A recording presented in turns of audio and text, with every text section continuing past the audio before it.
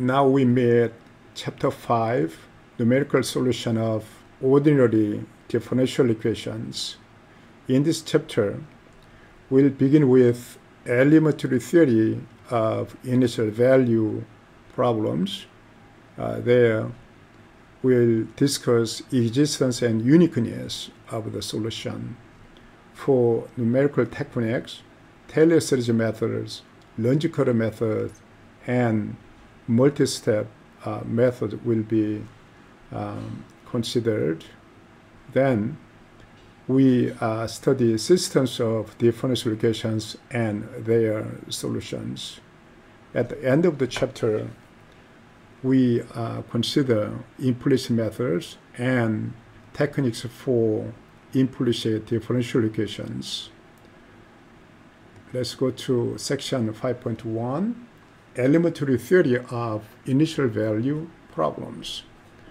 The first order initial value problem is formulated as follows. We'll try to find yi, i is from 1 to m, just m uh, functions satisfying uh, these equations. For each yi, uh, we have a differential equation, and for each yi, we have initial value.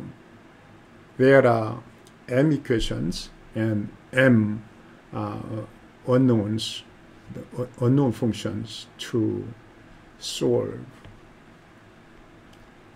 Okay. Um, once m is 1, then we can write in this way. dy over dx is f of xy, and for y and x0, the initial value is y0. And in most cases, we'll assume that uh, the system of equation admits a unique solution in a neighborhood of x0. Now, for uh, this problem, we can prove the uh, existence and uniqueness of the solution. Here, R is a strip in x direction. Uh, here, x is from A to B, and y direction is tall uh, strip minus infinity to infinity. Assume f is continuous on R and x0 is inside this interval. And also we assume f satisfies a Lipschitz condition in the variable y. That means uh, there is constant L, positive, such that uh, for arbitrary choice of y1 and y2, the distance, the function value distance is bounded by L times y1 minus y2. These conditions are satisfied then the initial value problem along with m is 1 has unique solution in an interval i. i is a subinterval of original interval, of course including x0. That's the theory.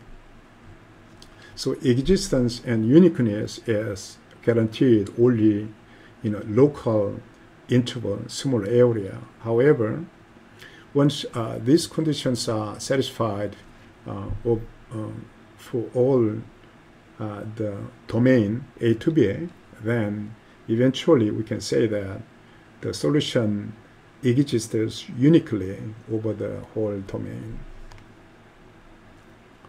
Okay.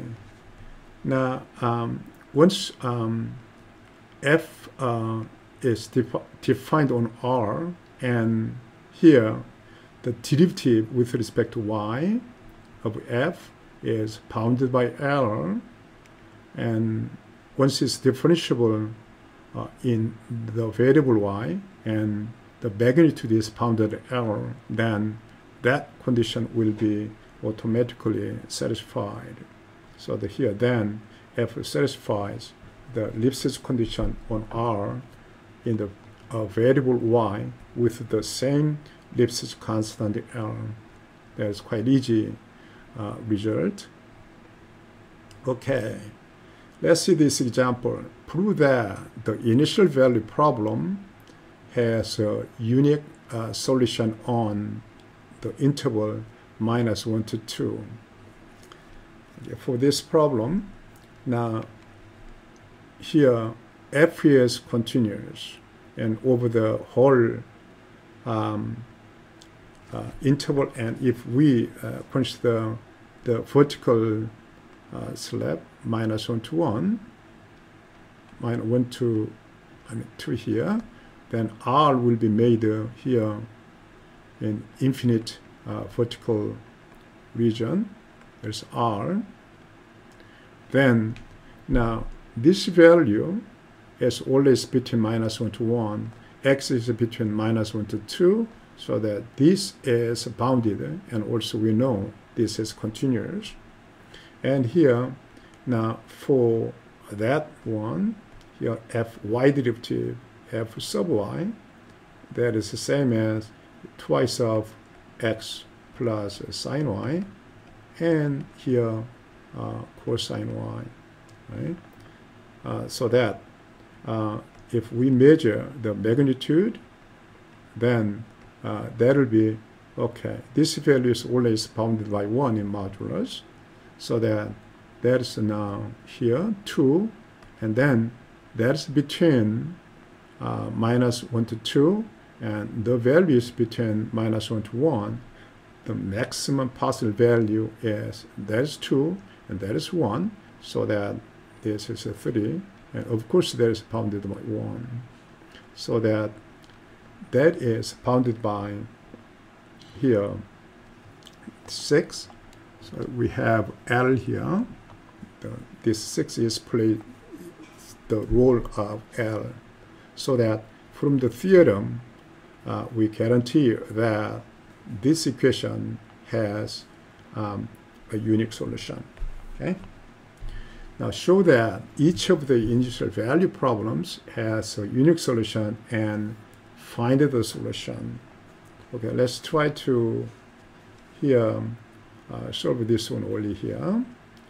Now again, f of xy that is continuous over uh, 3 to 5 and here x0 the 30 years uh, in the interval and now also here, if we try to get f sub y, y derivative, then that is 1 plus x squared.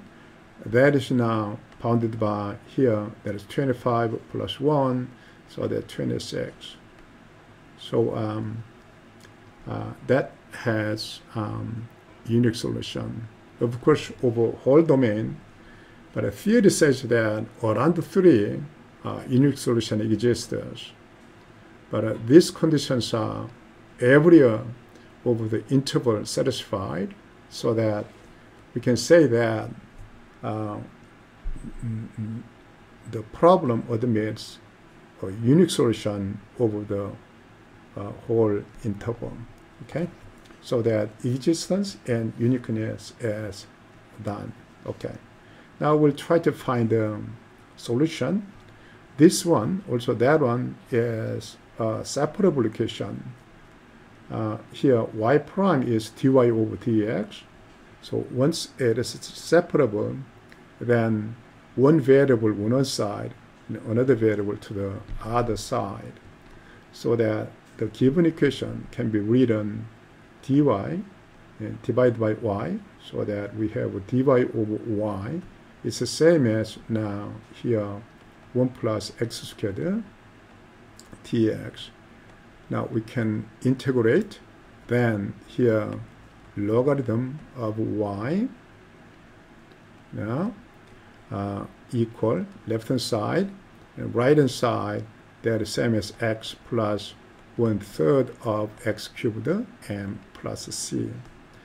Okay, we apply exponential function then y absolute value is same as e to the x plus one third x cubed plus c e to the c for e to the c we use um, again uh, c and then and e to the x plus and one third of x cubed.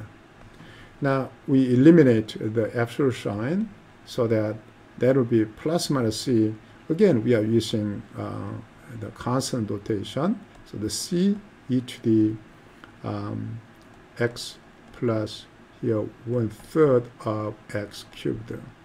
Now we have to decide the c by using the initial condition. So at x3, the value is 1. So here 1 equal c e to the at x3, 3 plus, there is now uh, here 27 divided by 3, which is 9, so that c times e to the 12. From here, we can get c is e to the minus 12. Okay?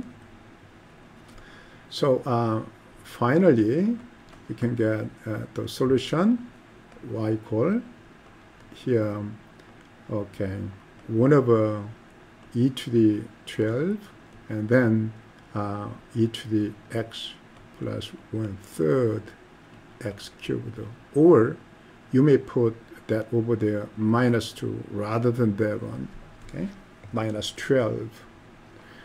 Okay, uh, that's the uh, analytic solution for this problem. By using uh, the software Maple, and we define the differential equation and initial condition, the pair, in differential equation in pair, for this pair, we try to get uh, y of x by using the built-in function dsolve, then we get uh, that uh, result. That is the same as here that one. Okay? Okay. Uh, now um, for numerical solution uh, in the following we'll describe um, step-by-step -step methods for the one variable equation, mm, the equation 5.2 is uh, just uh, mm, mm, this one, just uh, one variable. Okay. Now, and step by step uh, means here, in the first step, we uh, try to compute y1 as an approximation of y at x1. And here h is now uh, step size. So that x1 will be here x0 plus h.